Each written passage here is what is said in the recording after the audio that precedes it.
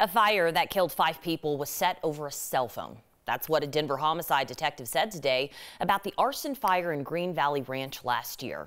9 News crime and justice reporter Matt Jablow is live outside the Denver criminal courthouse where the preliminary hearing in the case was held today. And Matt, for the first time, it's like we're finally learning what police say was the unbelievable murder uh, motive for these murders.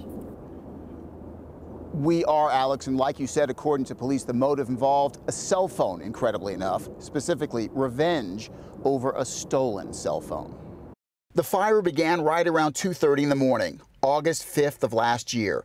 It spread quickly and with devastating effect, killing five members of the extended Diol family, three adults, a young child, and an infant. It is uh, just a horrific case.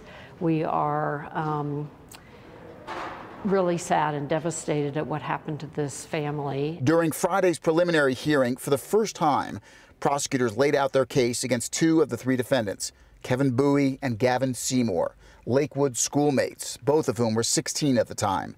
The lead detective testified that in July of last year, someone stole Bui's cell phone and some money while Bui was trying to buy a gun in City Park.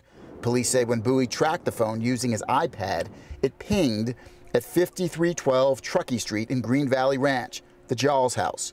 Prosecutors presented evidence that Bui then sent a message to his older sister saying, They're going to get theirs like I got mine, I swear. He then allegedly sent a second message to Seymour saying, hashtag possibly ruin our future and burn down his house. A few weeks later, Bui, Seymour, and a 15 year old friend then allegedly drove to the Diols house, according to prosecutors, and spread accelerant around the back door.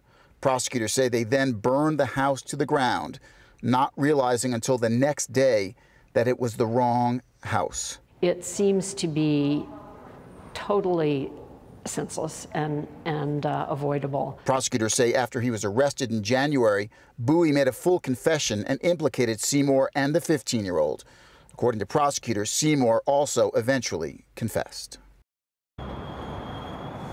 The third defendant in the case, that 15 year old, has not yet had his name publicly released. Right now, his case is in juvenile court, but the Denver DA told me today that she's hoping to try him as an adult, just like Kevin Bui and Gavin Seymour.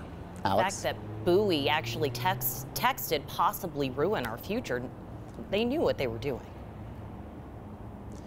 It seemed like there was a lot of damning evidence presented today. Of course, this was just a preliminary hearing. A lot more, I would imagine, will come out at the trial if there is one. All right, Matt, thanks for following it for us.